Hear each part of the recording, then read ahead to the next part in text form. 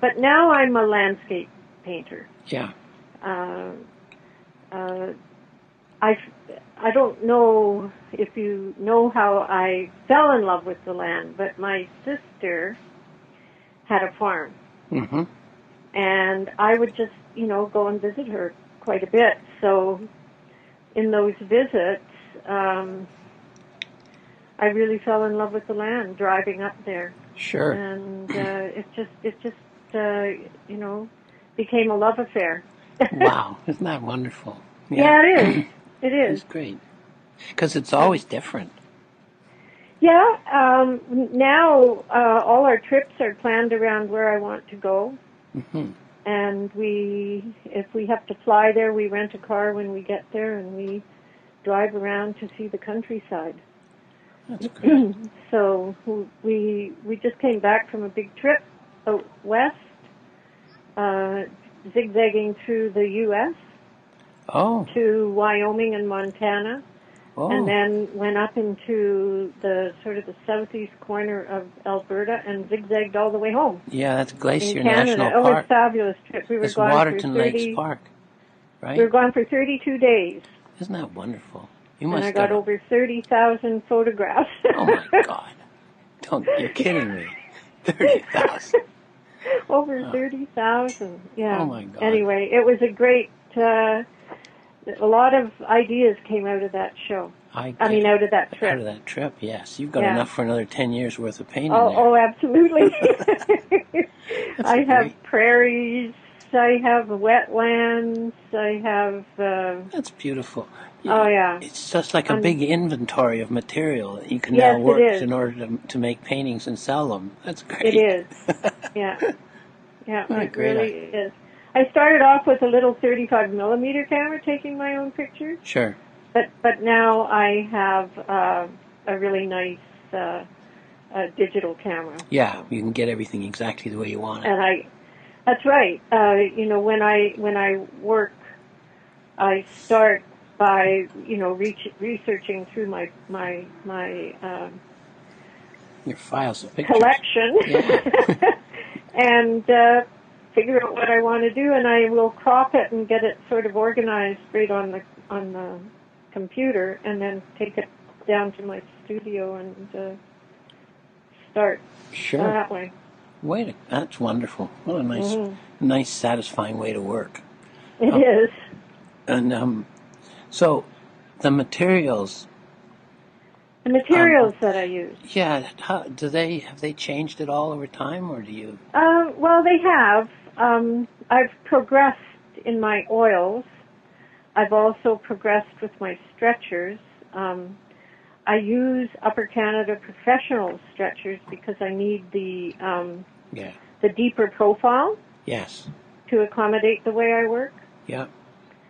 And I start with a cotton canvas, tightly stretched. Then I paint four thin layers of gesso sanding between the layers. Oh boy, So I do a lot of work you do. getting my canvases ready. Yeah.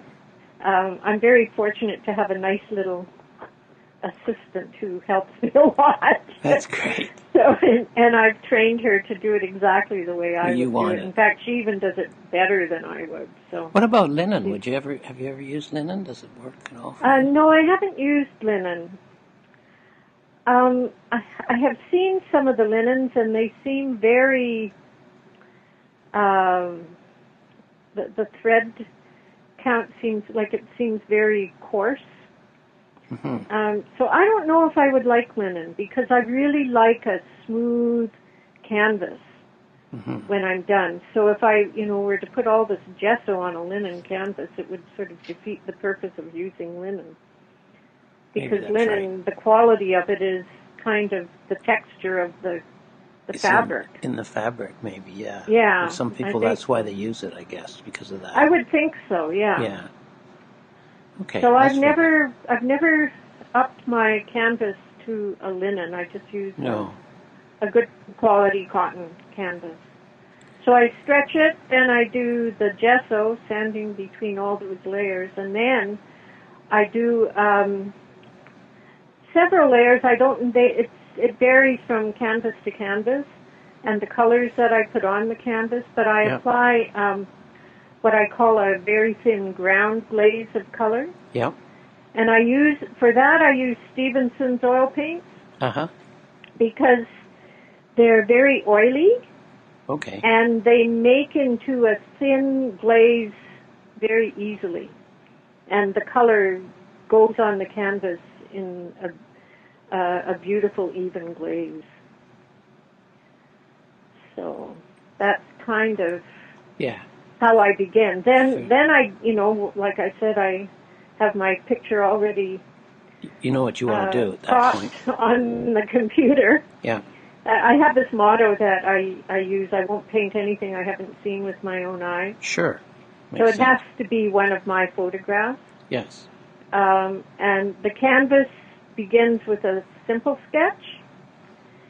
I just do a very simple drawing on the canvas, sort of pinpointing the horizon line, the whatever the important aspects of the the photograph are. And at this point, I start using Old Holland oil paints. So now I'm using the Rolls Royce of oil paints. Wow. They're really beautiful oil paints. They Yes. um, they they have such beautiful, rich, vibrant pigments. I really I really love them. Hey, good for you. So I start laying in color at this point, just Yeah. very thin, uh, mixing it with uh, um, oh, what is it called? Uh, mineral spirits. oh, Mixing the paint with you thin it mineral with mineral spirits. spirits? Yeah, the, at first. Yeah. Just at first. So I stain it with what I call it staining Mhm. with mineral spirits. Then I put a um, a medium that I make myself. Um, I don't know if you want to know what I use, but Oh. I use um, stand oil, dammar, varnish, and turpentine to make my Sure. glaze medium. And I glaze the whole canvas with this, with this, and then I start painting with that glaze medium that I have mixed. And I paint until another layer is done, and then I do and have to wait for it to dry between layers. Yeah. And then uh, I just keep painting and and going from thin to fat paint, and it's a very long process. Wow. But yeah, but you get a very rich surface. It does, yeah. It produces uh, really nice, uh, rich uh, Mhm. Canvases. Sure, that shows up. You, one can see it. I can see it when I look at your stuff. It's really great. Yeah. Oh, thank you. it, um, yeah, it, and and and I find that um, when you look at it uh, at night under just a dim light, it feels very different from when you see it during the day, but it still has a nice feeling about it. Of course. just they're they're very very different Hmm. To look at at different times of day.